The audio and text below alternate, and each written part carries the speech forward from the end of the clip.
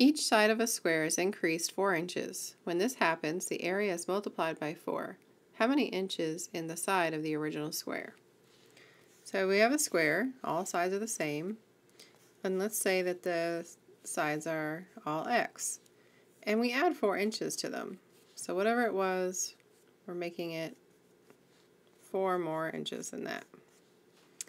So the original area uh, would be s squared, um, or, well, in this case, x squared. Might as well stick with the same variable. Um, and the, the original area was x squared, and the new area is going to be x plus 4 squared, but it says that when we increased each one by 4, the, the area got multiplied um, by 4. So the, the original area would now be 4x squared. Um, well, the original area doesn't change, but after we added 4, the, the area was 4x squared.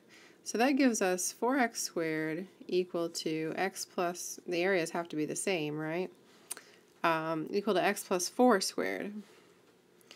And if we multiply out x plus 4 squared, we get x squared plus 8x plus 16. And we want everybody to be uh, on the same side or one side equal to 0.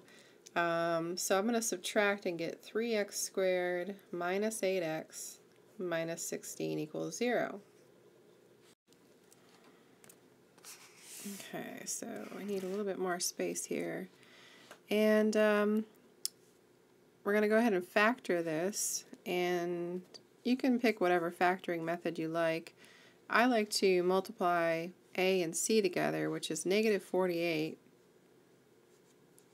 and see what pair um, will add up to negative 8. So um, start, you know, start low, 2 and 24, 3 and 16, and just work your way up, 4 and uh, 12.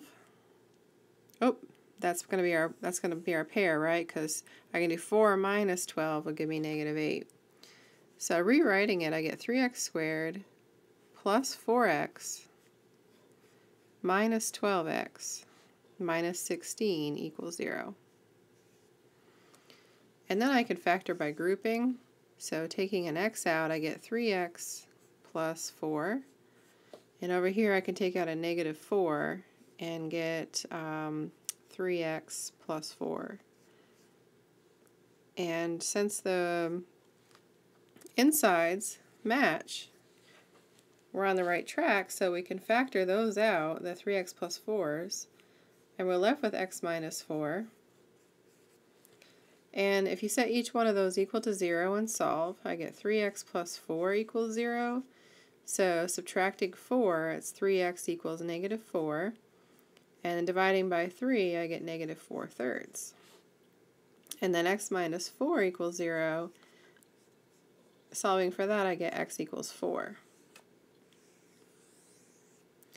Alright, so we get two answers here, um, but really only one is going to make sense. We can't have a negative dimension.